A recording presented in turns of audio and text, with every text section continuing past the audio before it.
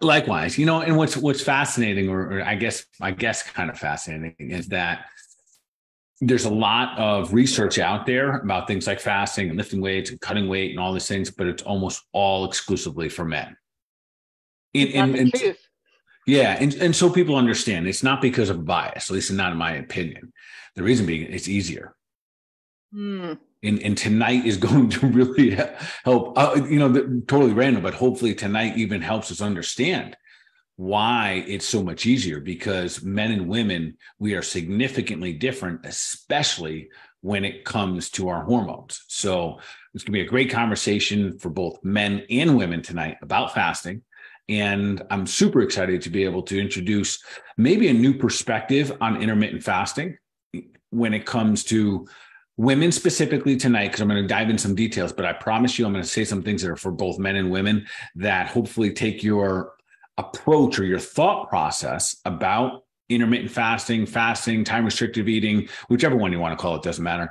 Hopefully, it'll take your approach or your thought process toward those and open up kind of a whole nother kind of category, if you want to call it, in terms of how we are looking at it, in terms of how does how does fasting really benefit the human body. So that that's going to be my ultimate goal tonight, with of course creating massive clarity and hopefully some ease for our women.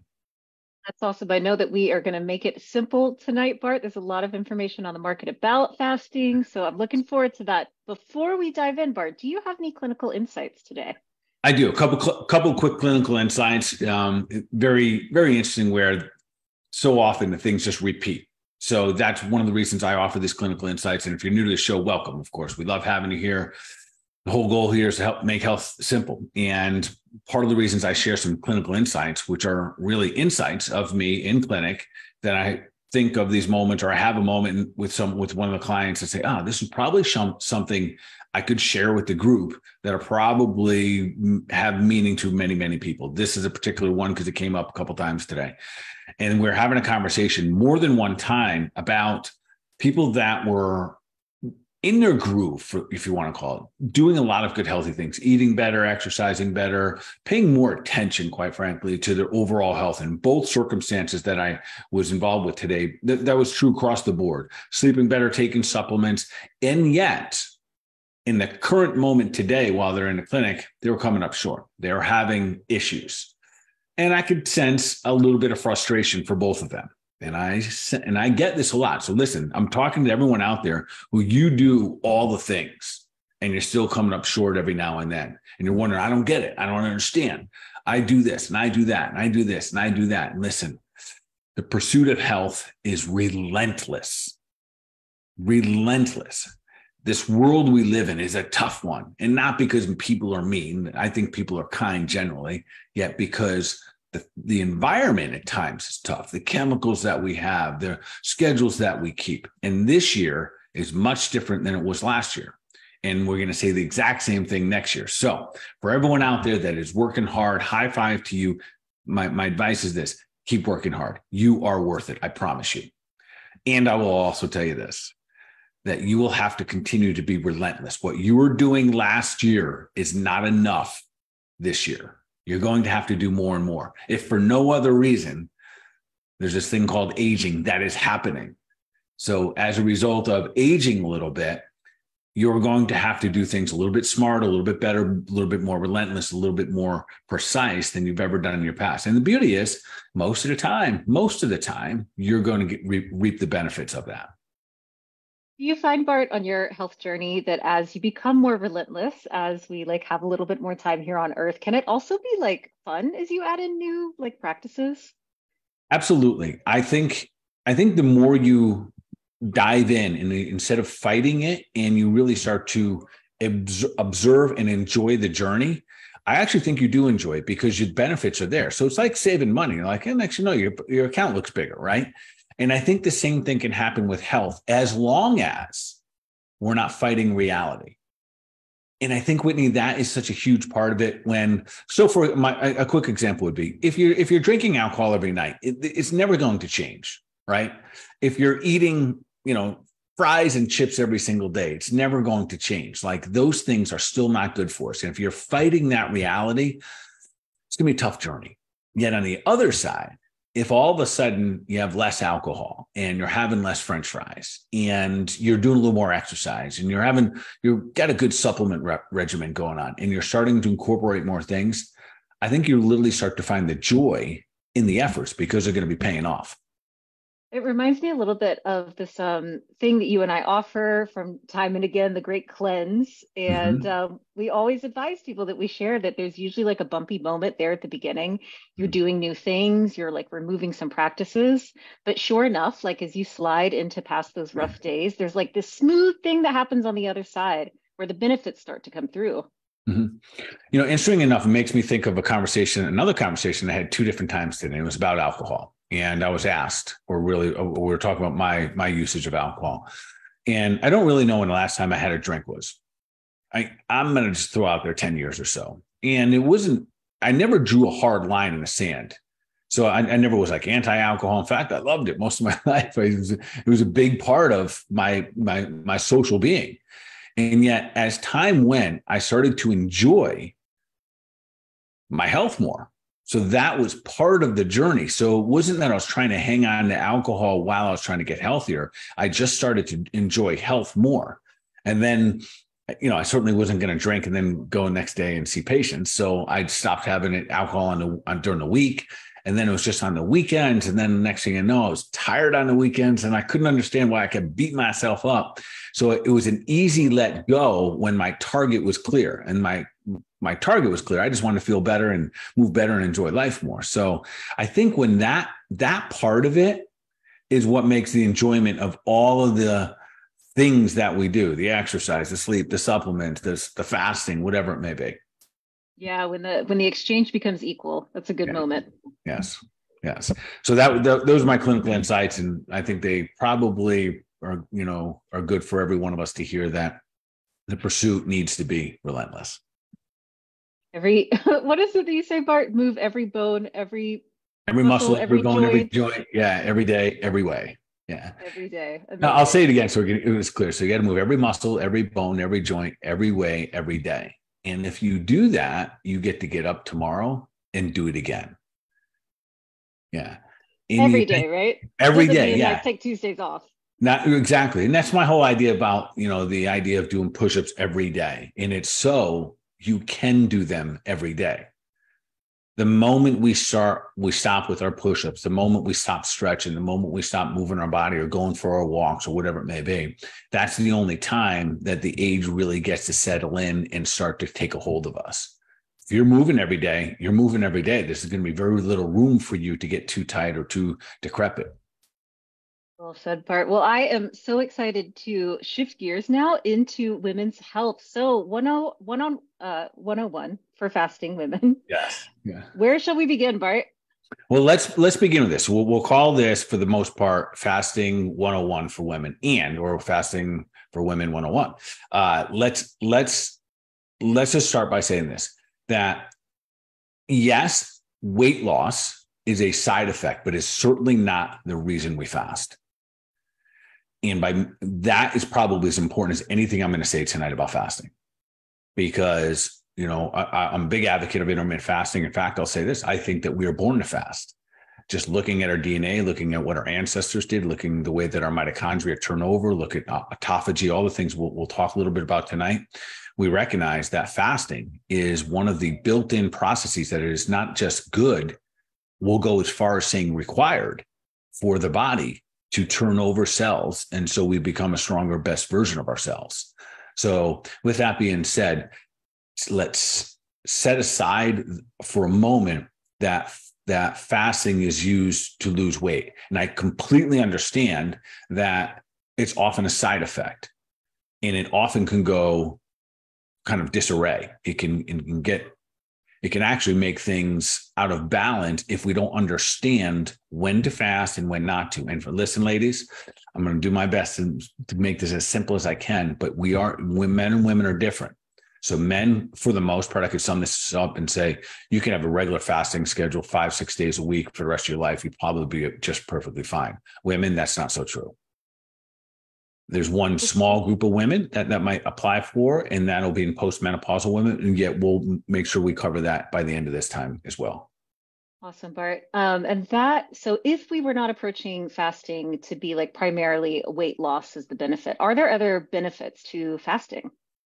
100%. So, just in general, while we are fasting, the fasted state is a healing state. So that just that part. So we can't be eating and digesting food, but also healing at the same time. So just let's just recognize that. So that I know it sounds it's kind of interesting, right? So if you're eating, you're actually not healing. Now you got to go to work. So now you have to take all those nutrients, do something with it. So we are only healing when we're in a fasted state. So it's important that we just recognize again that fasting is good for all of us. And now we're going to identify what does that mean?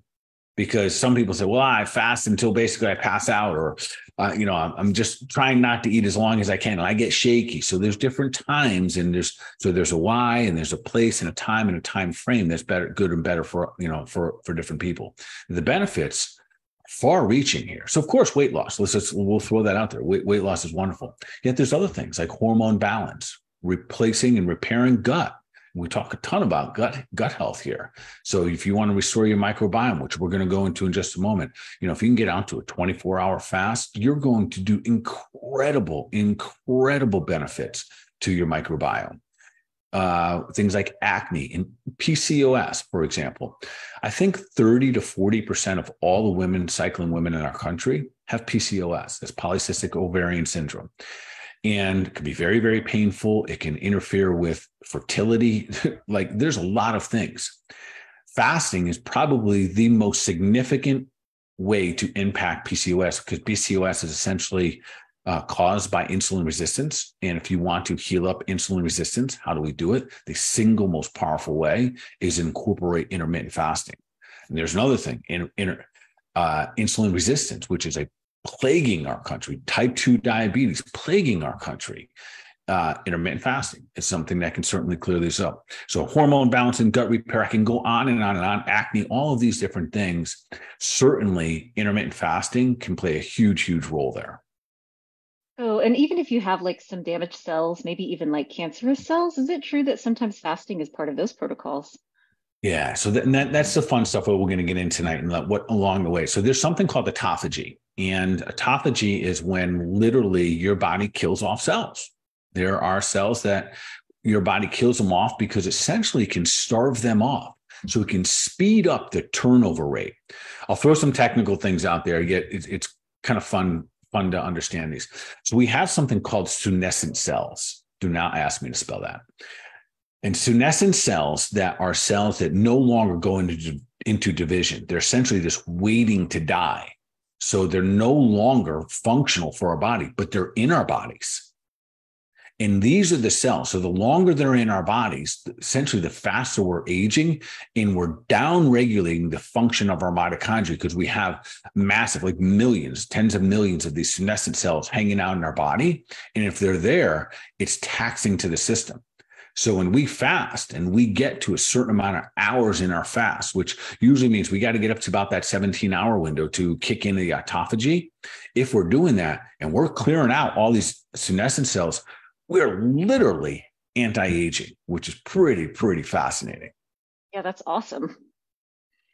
What a cool approach to um, kick down the clock.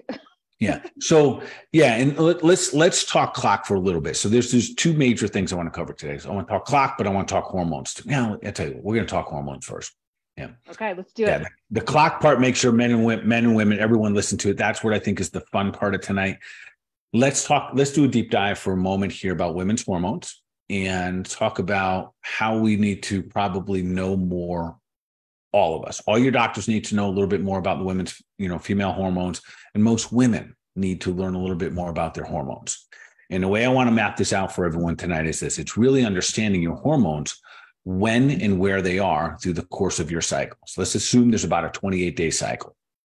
And if you understand what hormones are present during that cycle You'll also be able to understand what emotions you may be having, what food cravings you might be having, and when is it op- when is it when when is the most opportune time to be fasting because it's not all 28 days. And I think this is where there'll be some if people, you know, listen to enough Instagram and, and Facebook, you're thoroughly confused. You'll hear the fasting is wonderful, but then you hear that fasting messes up hormones. Fasting does not mess up hormones. Fasting, when done properly, is probably one of the single best ways to balance a female's hormones versus anything else there out there that you can do, including uh, hormone replacement therapy. And, and we could probably spend a minute on that as well. So, anyways, let's just talk generally about estrogen and progesterone. So let's just say we have a 28 day cycle. Your estrogen in the beginning part, days one through 14, it's on a steep climb. So that this really means from the day that you day one of your cycle and hopefully and i would also say this way and maybe we could add um, an app. I don't i certainly don't have one but if there we i think all women would benefit from tracking their cycle. Awesome. then, we'll add one for sure. And also just to mention in the case you use the Oura ring that tracks it as well. Okay fantastic. That's that's amazing. That's awesome. I didn't know that. So what we can do with that is apply what i'm about to say tonight because there's different times during your cycle that yeah get after it. Go for a long fast. And there's other times no no no. And the same thing when it comes to like carbohydrates fats and proteins. And i'm gonna i'll break those down in just a moment here. So in the first part of your cycle days 1 through 14 roughly this is where estrogen's on a steep climb and the estrogen hormone in the body this is essentially this is the hormone that makes you want to be social. Want you want to get outside you want to go hang out with other people you want to talk to people you're chatty you're chatty chatty you want to go do things. This is also the time that you would push yourself with your exercise. You would do longer runs you might get on your peloton and hammer it out because estrogen is very conducive to that type of activities. This is also when you could push yourself with your intermittent fasting. And what is push yourself for for the female? This could be if you're if you're fasting on a regular basis, somewhere between 14, 17 hours, maybe extending a couple days to 18 hours. But that window right there, very healthy, and that's that's good. We're going to talk about different hours. If you really want to push it, you are going you're going to take knowing where you are in your cycle and then use the information that I'm going to give you in just a moment here. So estrogen is your let's be social, let's get out, let's move and groove, let's get after it type of hormone. But right when you ovulate, which is, let's just say it's right in the middle, of the months, days 12, 13, 14, this is a time you do not want to be heavy fasting. So this is when you would pull back because this is when your body's going to ovulate. You're going to get a spike in testosterone here. And this this really opens up a can of worms for a whole other conversation when I see how many young women right now, young women, just women in general, are starting to take testosterone in pellets and in shots and in creams, and are doing it their entire cycle through the you know through the whole you know day one through 28 they're taking testosterone. That's a whole nother problem um, which we want to address tonight. But nonetheless your spike in testosterone is essentially going to happen from about days 14 uh, i'm sorry 12 13 14 middle of month it's when you're ovulating this, when your body kicks out a couple of these, these little cells, these, these follicles that you potentially could get pregnant with. And, and if you don't get pregnant, what happens after that is your estrogen starts to drop. Right when that happened, it, but it's still high. You could go fast for another couple days, no big deal. But then after about a week, that is when your estrogen drops and progesterone starts to go high. It starts to climb. And this is what I'm going to give you a little thing to key, key on here. So when we fast, we do produce cortisol. It is a stressful state. That is how we increase autophagy, which we're killing off all the weak cells. But when progesterone is supposed to be developed, we do not want cortisol. And this is important. This is where we can get in with some women, really kind of mess things up. It's not going to happen. Listen, if you fasted really hard for a month or two at a time, most likely you got just huge benefits. You start to extend that out three, four months, five months. Now you've been doing the same schedule for a year. This is where trouble ensues. All right. So you're getting into the space, you're getting in that week before your period comes. This is a moment. So when, when progesterone goes high, or I should say it this way when cortisol goes high, progesterone goes shy. Meaning this if you have high stress that week before your period comes and you're inducing that stress, that's when that's when progesterone is going to be pushed down. So we don't want to induce it. We're going to have enough stressors in life. We don't want to intentionally create a stressful situation for the body So would, would be a prolonged fast. That's when you get into that 16, 17, 18 hour fasting. Because if your cortisol goes up, progesterone's most likely going to go down. That's when hormone imbalances can kick in. So we we've seen that we've discussed it here on this on the Health Made Simple show before, where we call it a progesterone steal. So your body believes that cortisol, which is a stress hormone, is more important than your sex hormones. So if you have high prolonged stress, your body will start to steal your progesterone to make more cortisol. So we really want to be mindful of the week before your actual period. And this is when, when I'm going to throw some other things in here to make people feel good about what, what and how to do. This is when typically I'll hear from my patients. I've heard it from my wife for years. I'll hear from a lot of my female patients that this is when they crave more food. So progesterone in general needs more of nature's carbohydrates. Estrogen, protein and fat. So if we know this, and if you you're tracking your body and you want to kind of I do this in an ideal way, heck, in the first two weeks of your cycle, go ahead, intermittent fast, fat and protein, rip it up, go after it, go kill it on the Peloton, etc. The last week of your cycle is where we got to be careful. And this is where I, I've seen clinically so many challenges because we stick with the same thing over and over and over again. So, Bart, if someone were in a state where they were having this progesterone steal, what might they experience? Yeah. Here, probably the biggest thing once the progesterone drops is anxiety. And followed closely behind that will be depression. And I know many women listening to this right now, they're going, oh, is that why I have anxiety leading up to my cycle? Is that how I almost know when my period's coming?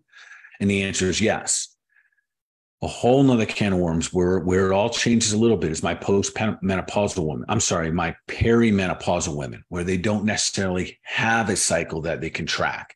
It's you know one day, one month is 28 days, then it's 60, then it's 45. So they have to know their bodies even more.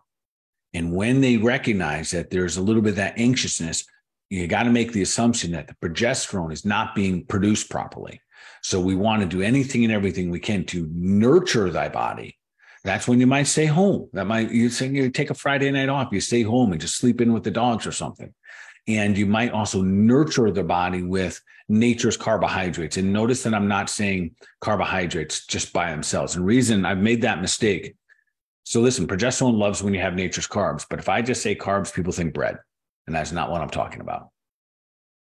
So we're talking like vegetables? Yes, I'm talking about like sweet potatoes, and we're talking about uh, broccoli and cauliflower, nice salads. And this is a perfect time when right that week before to load up on those things, give it a little more calories, but do it with a healthy, you know, with our healthy foods. There's no opportunity, there's no event that poor food is better off for us. So, with this kind of measurement of tra- tracking the cycle, the week before the period, we're lo- loading up with nature's carbs. And then the moment that your period starts, that's your day one, correct? Correct. That's your day one. That's when often most women will even tell me clinically, once it comes, I feel fine. They feel better. And then they start to on their road to recovery. And this is when you can kind of dig down, you can kind of hunker down again. And you can, then it would be a perfect time to do some intermittent fasting. Maybe you extend it a little bit. Maybe you get back out to that 16 hours. So the time that it was dropping down during, you know, like progesterone and you were, were not going to intermittent fasting, even during those times, everybody should always be able to go 12 hours. Again, remember, we heal when we fast and it goes right along with sleeping. And that's so they go hand in hand, right? And interesting, and I mentioned that because when I first started in my intermittent fasting journey, I don't know when it was, maybe seven, eight years ago or something. Um, I thought, oh, 12 hours, no big deal. I couldn't, it was very difficult for me. So I went to bed late and I would have a snack right before bed. And I so I was eating 10 30, 11 o'clock at night, and I'm an early riser. So I was getting up at 5 a.m., which is really only fasting for six hours. And I would eat sometime in my first hour so six, seven hours later, I was eating. So the first time I started, and I, and I, you know, I'm a knucklehead. So of course I didn't start at 12 hours, started at 18 hours. And I did that three days straight. I thought I literally thought I was like lose my mind. I was, I was, I was the first the first time you fasted was 18 hours. Am I hearing yeah, this right? Three days okay. in a row. Yeah. First first first time I did any type of fasting in three days in a row, 18 hours. And I was monitoring my blood sugar levels and they were through the roof it was it was interesting. You'd think I'd be in ketosis and everything. I wasn't. Mm-hmm. My body was so stressed out because I made such a drastic change. I went from eating basically every six to seven hours, you know, overnight, and then snacking all day long. Even though I was eating healthy, I was snacking through the course of the day. So it was very stressful. I, I, bet you felt pretty weird. Oh, was, I, my brain was like, and funny thing, I was at I was at a three day conference, and I was every like five seconds I had to like, what what did they just say? It was, it was kind of fascinating to see how my brain was checking out. So so if you're new to intermittent fasting, 12 hours is a great place to start. It's actually the smart place to start. And then you kind of add on to there. So let's roll from there. So we're going to break that down. We're basically, I'm going to, I'm going to sum that up about the female part of this and say this. As much as you can track and know where you are in your cycle. You're when you're producing higher levels of estrogen, you literally have different emotions in your body. You have different desires. You have more motivation. You have more bravery. The right, especially like when your testosterone's released, right? Days 12, 13, 14. Those are your like brave days. You go out and get it, all that good stuff. But then a week later, 10 days later, and progesterone and your estrogen goes away and your progesterone comes out, totally different, a little bit more recluse, a little more emotional. And if your progesterone is low, then we start to see the anxiousness and the, you know, potentially even the depression. Oftentimes they go hand in hand. All right. So hopefully that's relatively clear. And that's the part that for women we really need to know. And also know this that when cortisol is high, progesterone will go shy. So higher stress drives your progesterone low. So if you can map things out, and I'll explain what I mean by that. So listen, let's just say that you are a marathon runner. Let's not run a marathon three days before your period. That would be something that could significantly alter hormones. This is the same reason, Whitney, why we say female athletes, because they don't get to play by the clock, they have to perform when they have to perform often have disrupted cycles later in life because they're under that duress. They're producing that cortisol 28 days a month. So they're not getting a break. They're, they're you know, they're not, well, hey, coach, listen, my progesterone's coming here. I'm going to take a nap. That doesn't work that way. Right. So, in the event that we're thinking of this in terms of just being healthy, strong human beings, vibrant young women, the way we want to do it is really understand where you are in your cycle so you can honor that and the more you can do that, especially in that the seven days leading up, it being as close as you possibly can to circadian rhythm, uh, getting extra sleep. Maybe that's when you get a massage or acupuncture. Uh, maybe you stay home a little bit. You expend less energy outward. And then the moment that day one comes, click, game, game on. You go get it. That's, I'm glad that you bring that up, Bart, because when we talk about the stress that could potentially increase your cortisol, which would then make the progesterone go shy, it's not just like stress from a work meeting. It's literally like how you're eating, how you're sleeping, how you're moving. Everything can contribute, right? Yeah. So we said you mentioned eating. So if you're eating lots of sugar, so we have that's an issue as well. And unfortunately, and that's why I really want to be clear about nature's carbohydrates. So I find a lot of women prior to their period that they're craving and they and they get into the habit of eating chocolate and candy and bad foods you're doubling down on, on the damage to your hormones. So you're driving those down. You say well it's just this time of the month i'm just going to have this. Well i understand that and that is kind of the craving that your hormones are kind of leaning you toward but making good op- make, making good choices in that in those moments really then become kind of your target and your you know kind of your principal focus because if you if you're doubling down and you're getting more sugar during that time you're really stressing the system out double time all right well we're still on this topic of like women's health in relation to fasting can i also just ask you is there a best time for women to run labs like during their cycle yeah there, there is so there is there's right around about day 19 uh, that's that's a target that would probably be the thing. If someone said, "What is the best time someone could run labs?" I would point you right around day 1920. That'd probably okay. be the best time. Yeah. Awesome. And, and I'll tell you what, clinically, I, I, this is what I tell tell most of them. It, for for many women that are already in the imbalanced state, and that's when many of us as practitioners see the woman. So it's very difficult oftentimes to be able to get those labs during that time. So I will tell them with confidence that the labs are good. We don't need them though we can still be very successful if you don't have the labs. Now, if we do have the labs and you're able to do it around those days, fantastic. And there's other things that we could learn from the labs, like iron levels and and whatnot. So just blood glucose levels, insulin resistance levels, especially if we run, like so that we run a, a comprehensive female panel. As much as I want to see those hormones, I want to know what your insulin, your response to insulin is doing. Because if you're if you're having any signs of insulin resistance, that's our target that absolutely becomes the target because unfortunately the way that things work right now for, for the female is that if you go to the doctor and you're expressing or kind of saying man there's something out of balance here the one of the one of the first modalities right now whitney is birth control pill no matter what your age is. Regardless whether you're not you're trying to control birth they use that as a type of hormone replacement therapy to say all right just take this and kind of I'm, and i don't mean this in a derogatory way but take this and go away because this is a big, complex situation that requires a lot of detail and a lot of understanding and a lot of you know coaching and a lot of you know lifestyle changes. So just take this pill and go away. That's number one. Number two is hormone replacement therapy. And I, would say right now i think it's in a better there's better opportunity to use it than there's ever been. But also i think the majority of it is being used improperly. And i want to clarify what i mean by that meaning that you go in, you're taking blood work. And I love the question you just asked me at what time, because often when I see labs, one of the first questions I ask them, do you know where you were on your cycle? And they don't know, which means they didn't have that conversation with their other doctor either.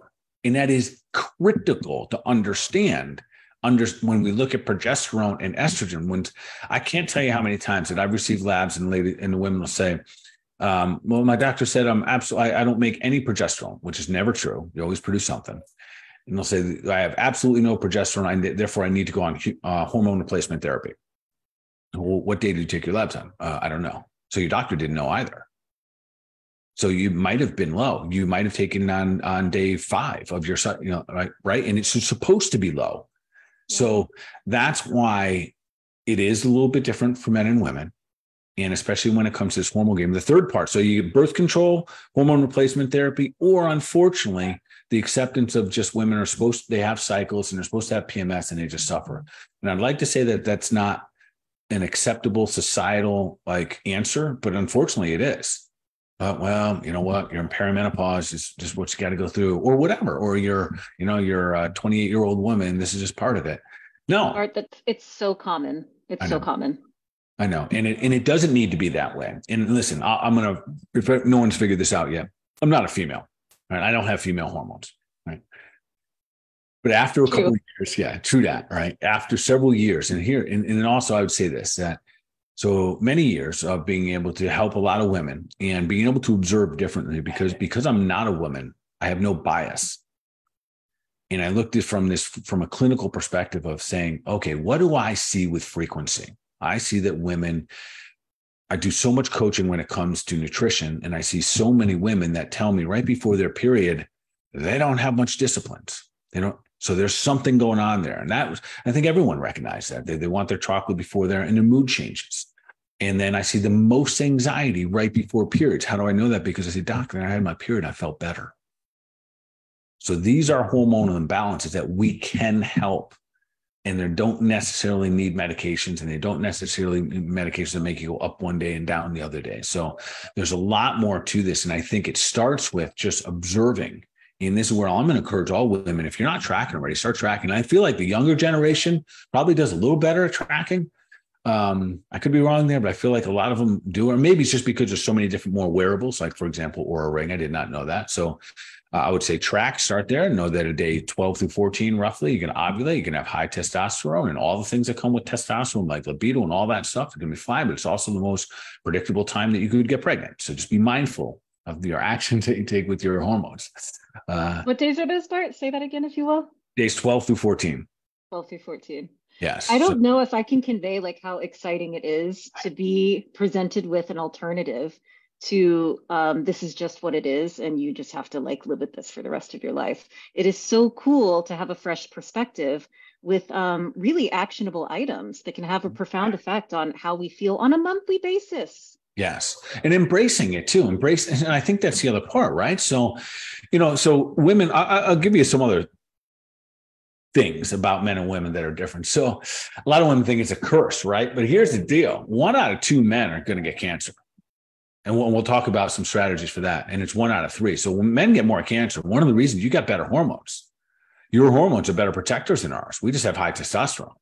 We don't have this, we don't have the utilization of estrogen, which is protector of cancer. So like you want good, healthy. So in that first two weeks, get after it right? So you have to kind of like start to think through your schedules and say, all right, I'm going to give myself I'm going to give myself a break here. I'm not going to push this week. I'm going to I'm going to say I'm going to back off my my aggressive yoga practice. I'm not going to get on the Peloton and kill it 28 days a week. That's a great example right there. There should be a time like for a lot of my people that are doing Peloton because they want to lose weight. Listen, the week before your cycle, back off. That's it embrace your hormones and what they're doing in those times. So embrace that. And then day one of your cycle, day two, ramp it right back up and give yourself a little bit of grace, thinking that you don't always have to be trying to get ahead of it because you're actually putting yourself behind. So for the women listening, I'm, you know, my my my goal is that they kind of embrace, okay, there's gonna be a time for me to go. And then, you know, it's kind of a push and pull. And if you learn that, your results are probably going to get much better, much easier too. So when you say Bart that estrogen is like a protector against cancer, is there like a magic in actually getting after it those first like day one through day 10? Like does that strengthen your estrogen or enhance it? Yeah, so it's going to essentially as as you get after it, you're abiding by what the body naturally wants to do. It wants you to use these hormones, but if you don't use them, you lose them. Okay. So we so we we know that especially for like guys and testosterone. If one of the reasons that guys' testosterone is so low across the board is that one there's, less less weight training taking place and there's more carbohydrate eating. So we're getting our energy from carbohydrates and we're not weight training. There's no simple law of supply and demand. So same thing for the female body. And if we want to uh, really have good estrogen levels, exercise is going to be com- a, a, component of that. Making sure that we are burning up blood sugar level, you know, the the excess sugar that's in our blood, so we can get into little ketosis. So we have this law of supply and demand taking place, and you'll slowly be building up your testosterone. It just kind of peaks between days 12 and 14, and then it starts to kind of wither away as well. But don't use it, you lose it. So I know that there must be something dynamic about how many hours that we are fasting, Bart, because like fasting could literally be like 30 minutes between like when you take, yeah. I don't know, bites or something. And it could be like 18 hours like you did the very first time you tried. Is there some magic to like different time frames? There really is. And this is this is where I think the fun part of this conversation goes. So let let's let's let's let's hunt this down just a little bit so so people can kind of target. And again, weight loss is the side effect, not the goal right? Because there's the goals are way better than weight loss. So let's just start with a 12 hour fast. Once you hit about 12 hours, your body is now is going to for the most part going to use up the majority of sugar that is circulating in the bloodstream. So 12 hours pretty relatively easy because sleeping counts. Once between the 12 and 14 hours, so you're 14 hours, extend that a little bit more, maybe into the 15 hour mark. Now you're getting into burning fat for fuel. So, so just hear me out. 15 hours, 16 hours fasting, you're going to be bringing your body into ketosis. That's simple. So if your goal, one of your goals is along with getting healthier is to lose a little weight, that that's a simple, that's a simple roadmap right there. That's that's like the that's the easy, boring stuff. The fun stuff starts right around that when we get a little bit longer. Now, in that time, with once you do get into ketosis, hearing about that, 14, 15, 16 hour bar, we are starting the autophagy phase. But really, autophagy will kick in best. And this is when we start to kill in, kill off some of the cells right around uh, the 17 hour mark. Can you just remind us, Bart, what ketosis is? Yeah. So ketosis is so our bodies have basically two fuel sources sources that, that we can use for energy. Sugar is one of them. And most of our foods will be converted to some, so carbohydrates, even some proteins, sugars, all of those will be converted to, well, used as sugar. And the body uses very readily, very easily as a fuel source. So if it has to pick one, it's going to pick sugar if it's available because it's just easier.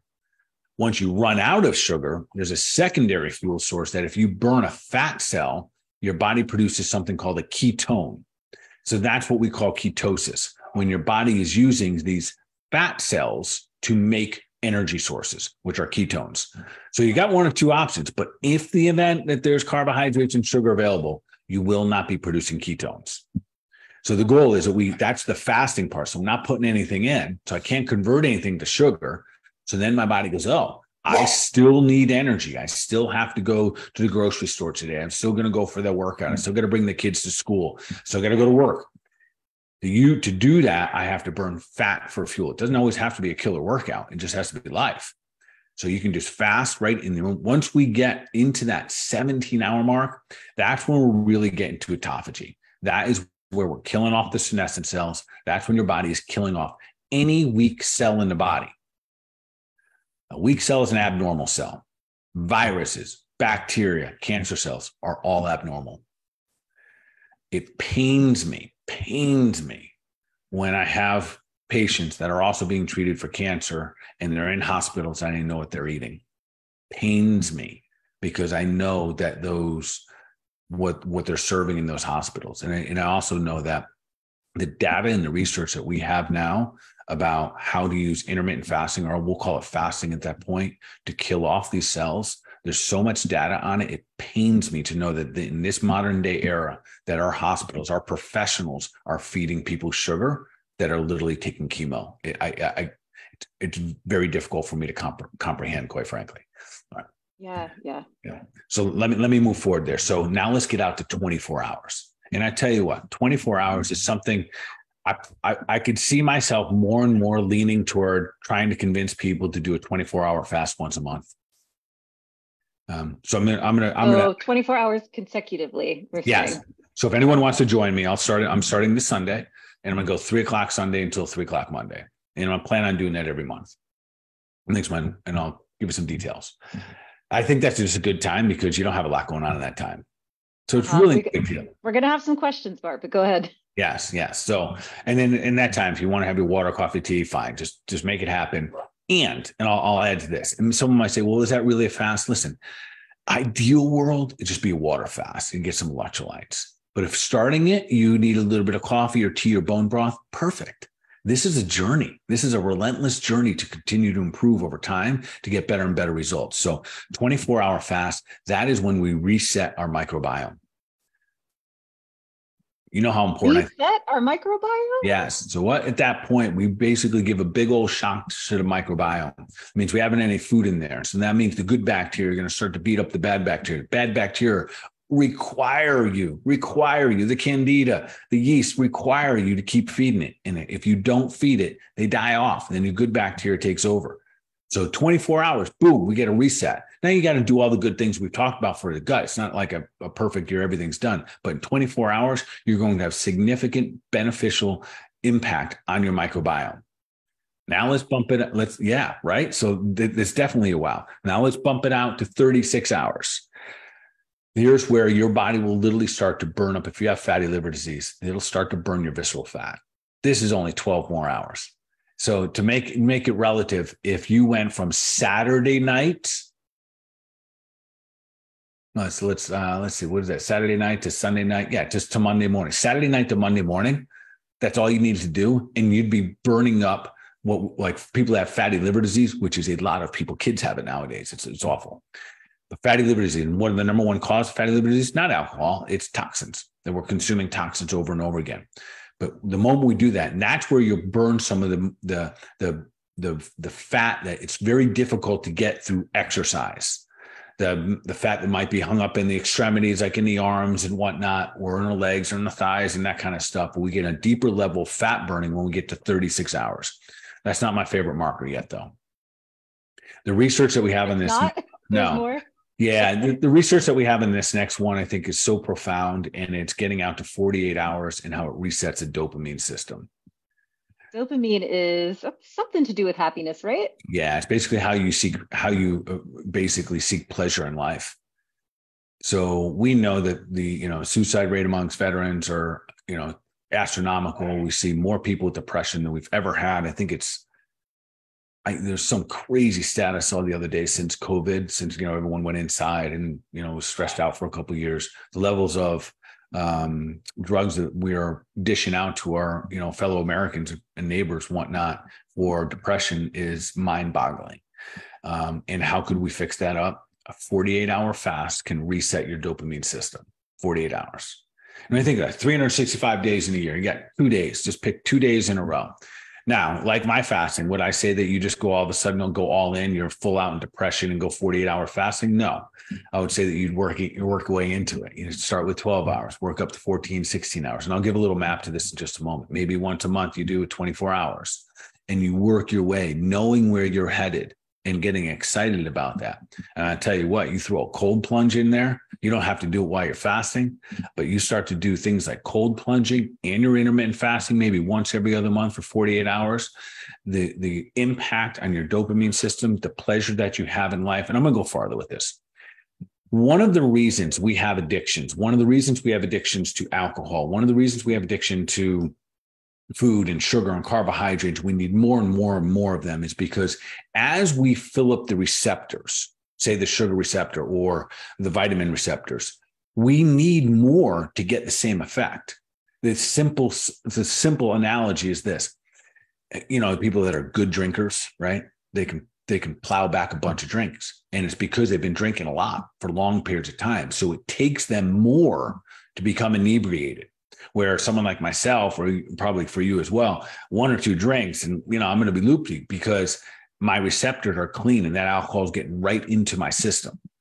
So at 48 hours you are cleaning out all these dopamine receptor sites. So the dopamine can have an effect. This is what, this is a drugless approach. Mm-hmm. and the research that we see right now that's coming out the data is coming out it's mind boggling i can't imagine I guess I could, but I it, it seems only logical that the future medication is going to be fasting and good good food and cold plunging when it comes to depression. I think of like that compared to um, what I've experienced in hospital rooms sounds not too bad, Bart. Yeah, right, right. Because and then the other thing is the empowerment part of that of taking those actions that you did that you made the change and that you're you're you have the power for the next move and the next change that you want in your life. I think all of those things are really um, they're kind of beautiful in their process in the process of becoming healthier and stronger. All right so we're, we're to go we're to extend one out here. Go way in front of this. So listen the whole way along here once you hit 17 hours you are starting to kill your you're you, are you are in autophagy. You're in autophagy at 24 hours, 36 hours, 48 hours, and now the grand poopah we're going to 72 hours, three days. When you get to three days, yes, your body is going to be clearing house all over the place. You're killing off all the bad cells. You're increasing autophagy. You're getting rid of all the senescent cells, and you completely reset your white blood cell. Essentially, you reset your immune system. Whitney, this is so significant, meaning that and again, the data that's coming out on the effects that we can do for resetting the hormonal system, resetting things like autoimmune conditions, because this we heal when we fast. And yes, again, I, I, am not encouraging anyone just to jump into 72 hours.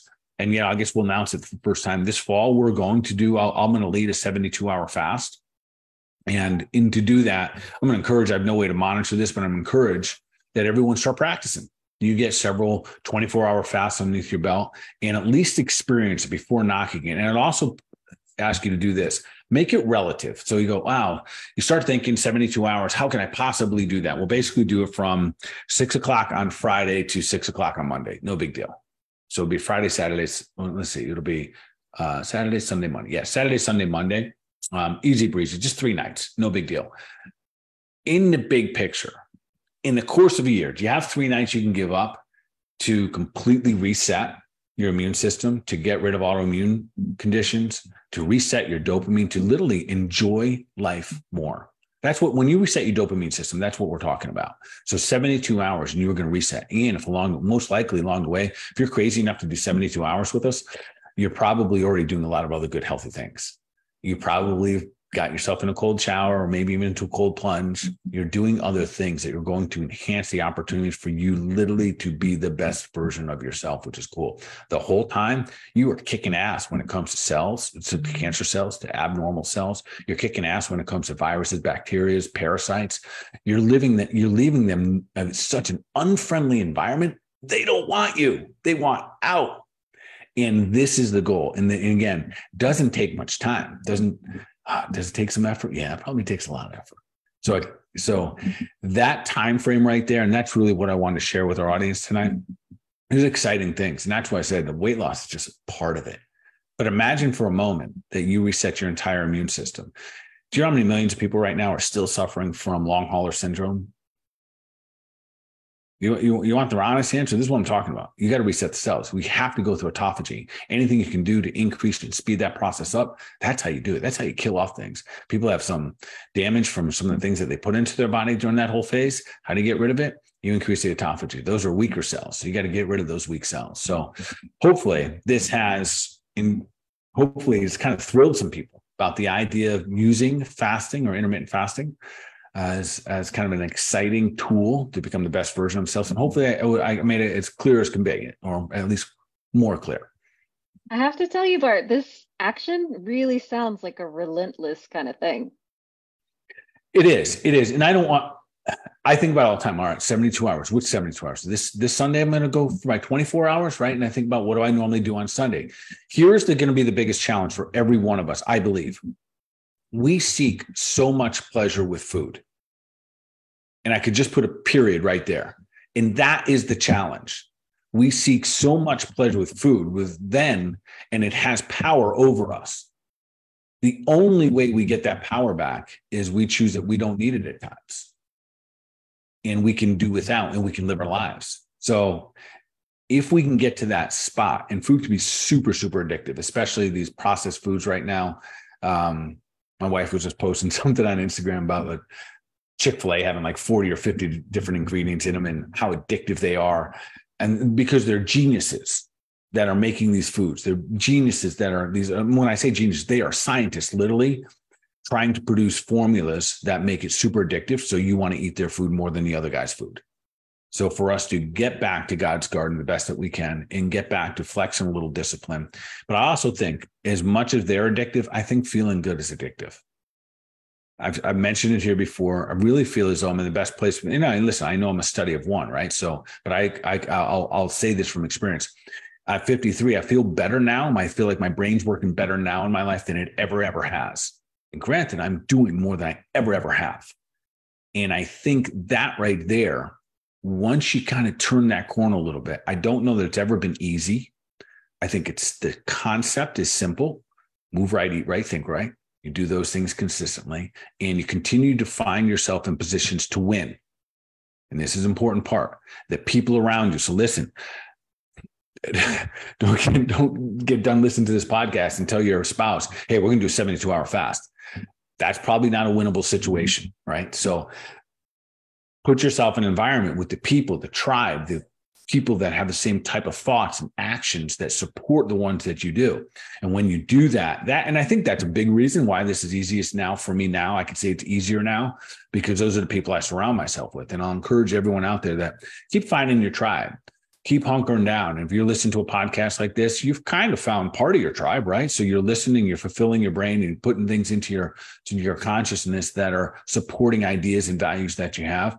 And then go out and seek those people.